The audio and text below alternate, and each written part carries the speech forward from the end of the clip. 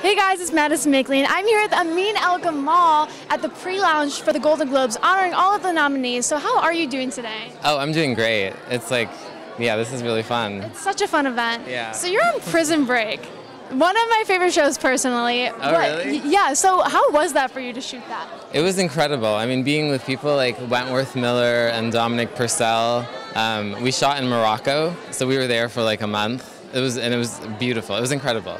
I feel so lucky, and the show is really, really good. So where do you see your career with that going in 2017? Do you think you'll stay with Prison Break or kind of branch off into other things, movies, maybe?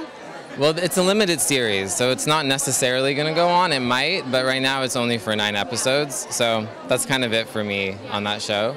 Um, but I'm on another show called The Librarians. Um, I'm on the season finale of that, which is coming up in a few weeks. Um, and I've done a few films that are coming out, so yeah. Very cool. Well, if you could choose your own dream movie or show to be in for 2K17, what would it be?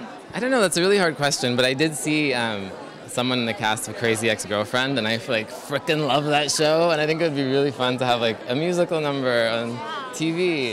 Yeah. Are you into music then, or I, don't really, I mean, I sing, but like, I think it would be fun to work on a show where I got to do something like that. I've never done that before. Do you think you could see yourself going like maybe that Broadway route, or are you just like, or are you just like? That would be. I wouldn't say no to that. well, we're asking everyone this just for fun because Yeah. it is a Golden Globes event. Who are you most excited to see on on that carpet for the Golden Globes on Sunday?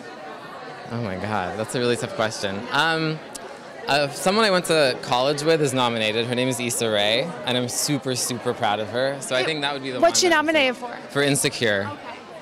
Uh, Best Actress on the show Insecure on HBO. Well, that's so sweet of you to, Yeah. to say like my friend, No, my homie. I get teary just thinking about My homies out friend- there. Know, That's so exciting. nominated, It's it's it's the best. Well, It thank you, the best. Well, thank you so much for talking with us. Have fun here. Yeah, thank Good you luck to you in 2K17 too. So thank you so much for Thank talking you so with much us. for having me. Thank you. Thanks.